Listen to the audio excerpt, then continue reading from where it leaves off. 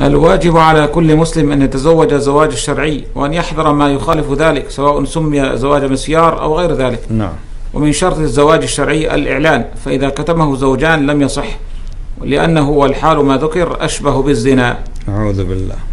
كتمه الزوجة يعني بين الزوج والزوجة زواج. هذا يعني فيه منكر كبير. بإمكان الزنات أن يدعوا ذلك عندما يقبض عليهما أو يكتشف أمرهما. إذا وقع عليهم رجل يزني امرأة؟ قال لا زوجتي. يقول لها مو أنت زوجتي؟ تقول لي صح إحنا متزوجين. راحت صارت فوضى كل من يزني يدعي أنه متزوج. لكن لابد أقل شيء أن يكون بولي وبشاهدين اثنين. هذا أقل شيء. يعني ليس الم- المراد إنه يعلن لجميع الناس أو يضعه مثلا في وسائل التواصل إنه قد تزوج. ليس بالضرورة. لكن ما يكون مكتوم بين الزوجين لا, لا يعلم لا ثالث لهما. هذا باطل ما يجوز. نعم.